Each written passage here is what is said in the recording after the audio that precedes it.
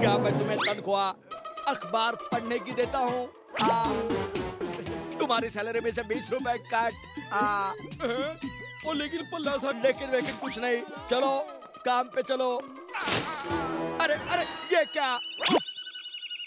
झोल झाल की दुकान से सफाचट साबुन खरीदो और सोने का सिक्का जीतने का मौका पाओ। अरे इसे कहते हैं सुनहरा अवसर। आ, आ, आ, आ एक सफाचट साबुन देना। अच्छा अच्छा एक साबुन? अभी लाया अभी लाया क्यों भाई तोल? तेरे सफाचट साबुन में कितने सोने के सिक्के निकले? अरे माल मैं बीस साबुन लेके गया था और उनमें से दो सोने के सिक्के निकले हाँ। अच्छा मैं तो पचास ले गया और मुझे पाँच सोने के सिक्के मिले। अरे वाह मैं तो आज सौ और साबुन खरीदने आया हूँ हाँ। बस, मैं दो सौ खरीदने आया हूँ।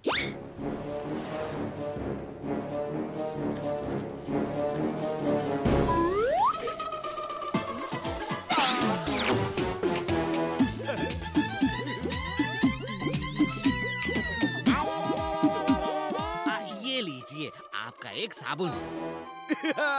एक किसने कहा एक? मुझे आपके दुकान के सारे सफाचट साबुन चाहिए। सारे के सारे। आ। क्या? इतने साबुन का क्या करोगे भाई? अरे मैं साबुन का अचार डालू या रायता बनाओ तुम्हें इससे क्या? आ बस मेरे ऑफ़िस साबुन भिजवा देना। बहुत सफ़ाई करना बाकी है। ये लो तुम्हारे पैसे। आ।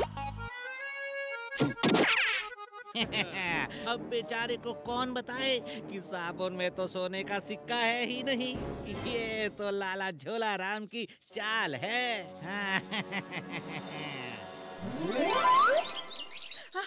आज इनके साबुन के चक्कर में सुबह से सौ बार नहा चुकी हूँ।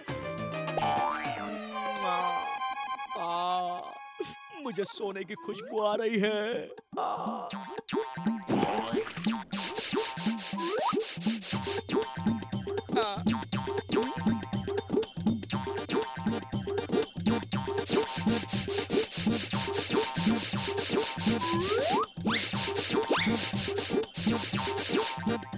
इसमें भी सोने का सिक्का नहीं?